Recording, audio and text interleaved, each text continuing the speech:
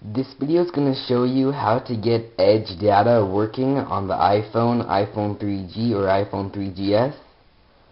First you will need to add a data plan to your T-Mobile account.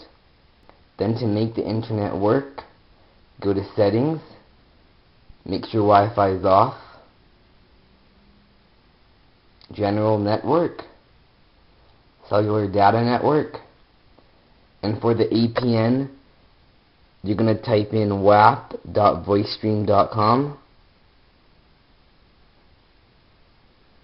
You can also use internet2.voicestream.com or epc.tmobile.com.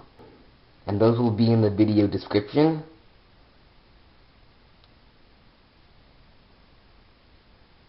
Then go to Safari and load a site.